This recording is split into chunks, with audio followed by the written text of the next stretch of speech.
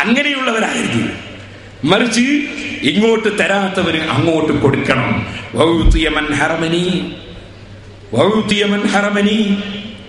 വആഫു എന്നെ ആക്രമിച്ചവന് ഞാൻ വിട്ടുവീഴ്ച ചെയ്യണം.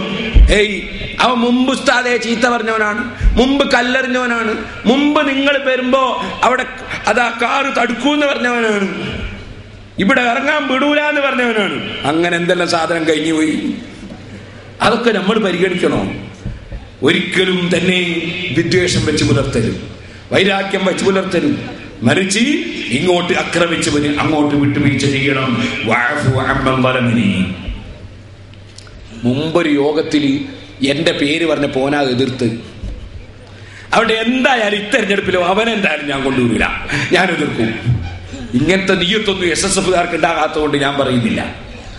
ഒരിക്കലും അങ്ങനെയുള്ള ഒരു സംഘടനാ പ്രവർത്തനമാകരുത്. നമ്മുടെ മനസ്സിൽ പരസ്പര വാശിയോ വിദ്വേഷമോ വൈരാഗ്യമോ അവൻ എന്റെ പേരിനെതിരെ പറഞ്ഞവനെന്നോ അനുകൂലിച്ചവനെന്നോ ഒരു ധാരണയും ഉണ്ടാകരുത്. ഇതൊരു കൂട്ടായ്മയാണ്. അള്ളാഹുവിന് വേണ്ടിയുള്ള കൂട്ടായ്മ.